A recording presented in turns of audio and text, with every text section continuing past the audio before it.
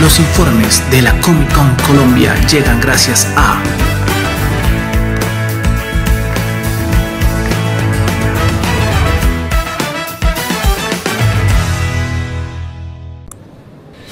Hola a todos, continuamos en la Comic Con Colombia desde Bogotá en su primera versión de esta Comic Con, tercera hecha en nuestro país. Me encuentro con Andrés Quirola y con Jorge Lord.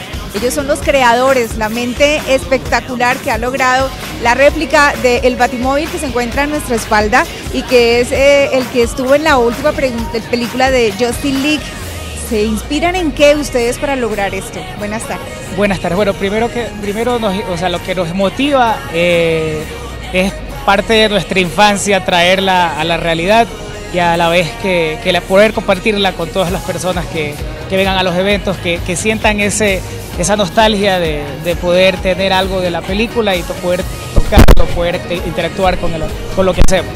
¿Cuánto tiempo duraron ustedes haciendo y logrando esta réplica? Este vehículo se construyó en seis meses, desde el diseño, construcción de las partes mecánicas y la carrocería. Verlos ustedes caracterizados con los de la película deja ver que a ustedes les encanta el tema. Sí, somos muy aficionados desde pequeños de los cómics y de Batman sobre todo, entonces eh, coincide que, que construyamos este tipo de cosas. ¿Han logrado otras réplicas de otros vehículos? Al momento tenemos ya aproximadamente unas una seis réplicas. Eh, tenemos al DeLorean de Volver al Futuro, a Kit del Auto Fantástico, tenemos una Batbot, estamos trabajando en el en el batimóvil de Batman Returns, que es el clásico, el de los 80, y también estábamos trabajando en un Tumblr, que es de la película de Batman también, de la, de la saga de Christopher Nolan, entonces ya, ya tenemos algunos proyectos ya. Entonces yo estoy con los consentidos de la Comic Con de Latinoamérica con, la, con este tipo de réplicas, me imagino. Eh, perdón, que no lo escuché bien por la Me imagino que sí con los consentidos de las Comic Con ah, de Latinoamérica. Claro. claro, sí, sí, o sea, eh, más que nada porque a la gente le encanta.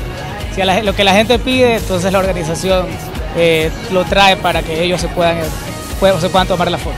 Vez más queda demostrado que cuando se trabaja con tanta pasión, con tanto amor y con tanto fanatismo se logran grandes cosas. Así es, eh, el trabajo de nuestro equipo ha sido arduo estos meses y ellos están muy satisfechos con los resultados. ¿Cuántas personas trabajan en eh, tenemos de planta ocho trabajadores y eh, contratados por, por eventuales unos cinco o seis más.